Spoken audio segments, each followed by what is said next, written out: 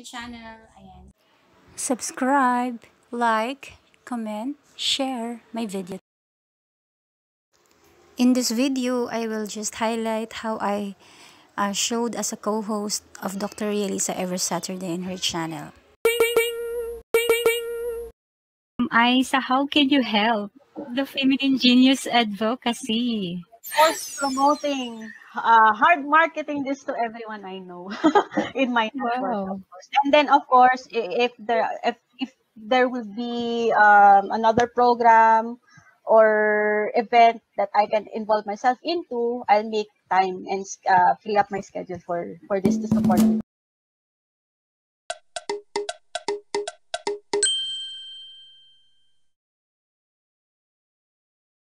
How can architect Louis can help your Feminine Genius Advocacy?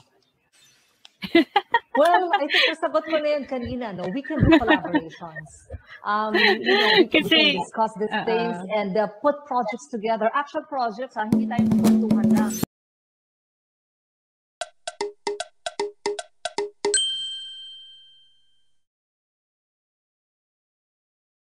Jazz, how can you help the Feminine Genius Advocacy of Dr. Elisa? Uh, I'm inspiring people. Maybe I will. I'm happy to connect with people you want to connect me to. You feel that um, you uncover people who want to lift their game and they need a coach, um, please connect them with me.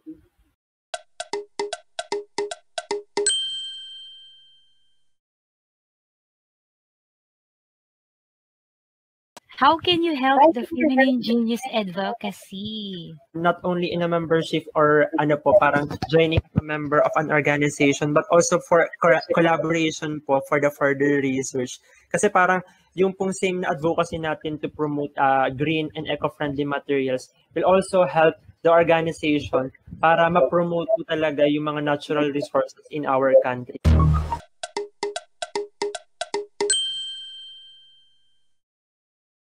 Can you help the Feminine Genius Advocacy of Dr. Elisa?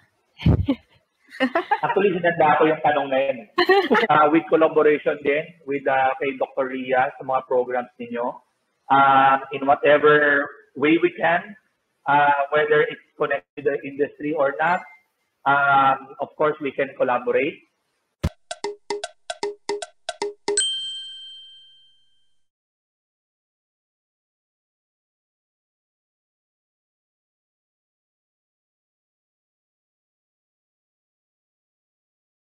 Can you help Oh. the Feminine Genius Advocacy? Yun, yun nabanggit ko kanina by being a mentor, ganon.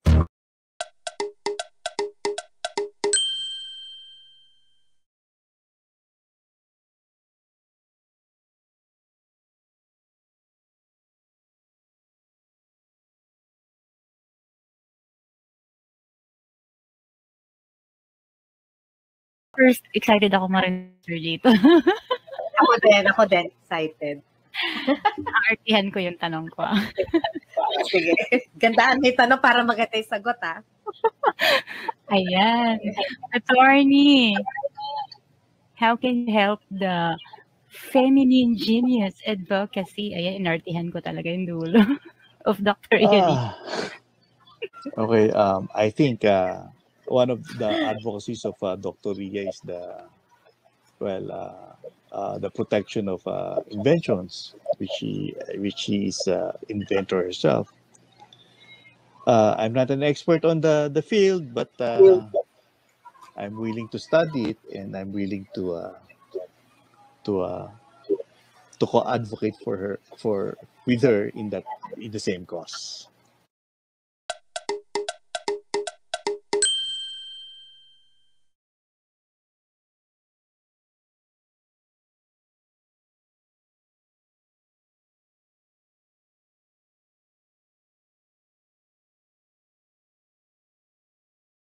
Help the Feminine Genius Advocacy of Dr. Elisa.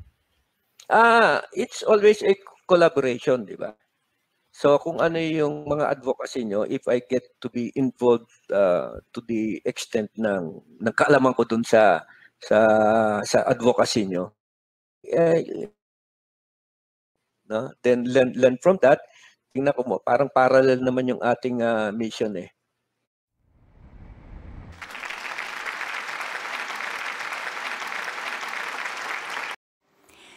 So these are the objectives of the Feminine Genius Advocacy. Transform and engage.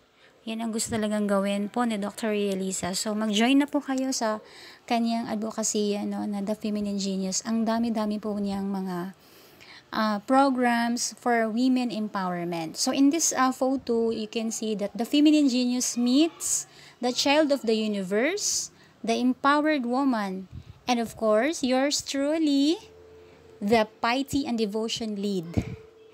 So ito po si Madam Halili, ayan, napaka-humble po nito and uh, willing po siyang mag-mentor talaga sa akin.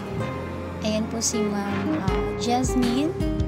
Um, napakagaling din po na mentor nito at madalas itong kinukuha talaga sa uh, DTI as a speaker. So, of course, ayan na po ang inyong lingkod. March Isa is po akong. IT. So, pero willing po ako talaga na mag-build ng aking online business. So, these are the theme of this episode. So, the Feminine Genius team celebrates. Ayan po.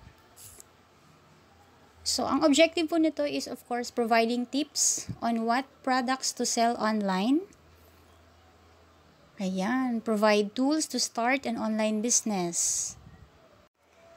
And ito po yung na-avail ko, no, the piety and devotion character of the feminine genius. So, enjoy watching guys and I hope that you will consider subscribing to my channel as well as to Dr. Realisa's channel and please don't hesitate to join on her the Feminine Genius Advocacy.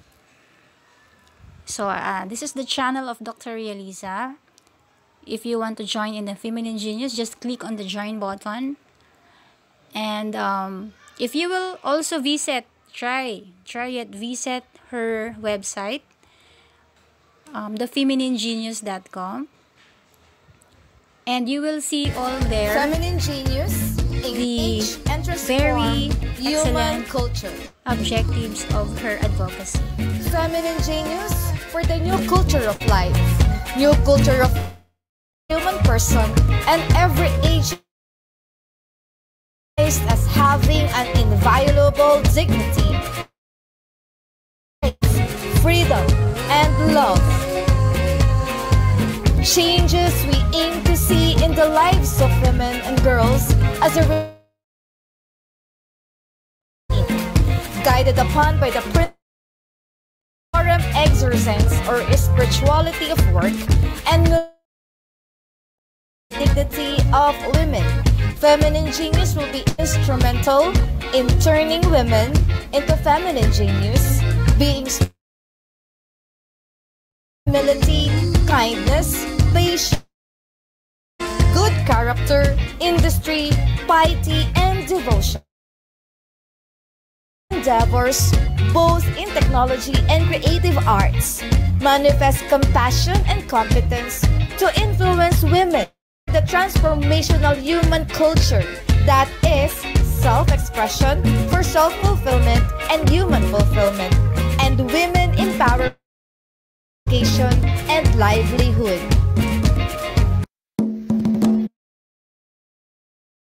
As a member of the Feminine Genius the outreach projects aim to benefit the women in need and at the same time enjoy membership perks for empowerment. These are all the support from the MG News or the male and the youth or the youth and also from the support of the friends of the feminine genius.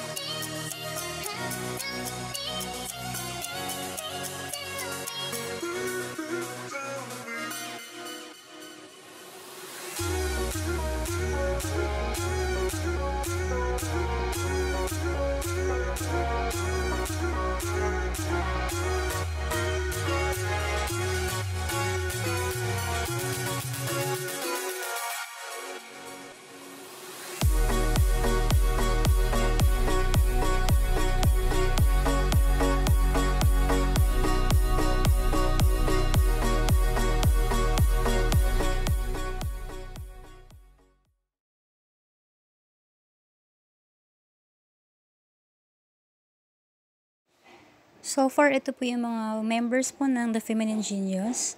Ayan po ang pinili ko. Virtue and Good Character and Piety and Devotion. So the rest, ayan po yung ibang members. So ano pang hinihintay nyo? Mag-member na rin kayo. Ayan, kindness and patience, ilan lang yan sa mga character po ng feminine genius. It doesn't mean na feminine genius ay exclusive lang sa girls. Uh, welcome din po dito ang uh, male genius or M genius, men genius. And the, the youth, ang tawag naman sa kanila dito ay Z, uh, Generation Z uh, Genius. Ayan po.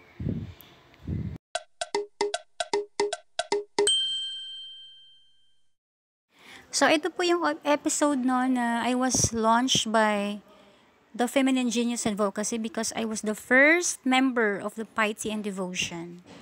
So, listen and enjoy watching and um, please don't forget to subscribe on my channel. Thank you so much.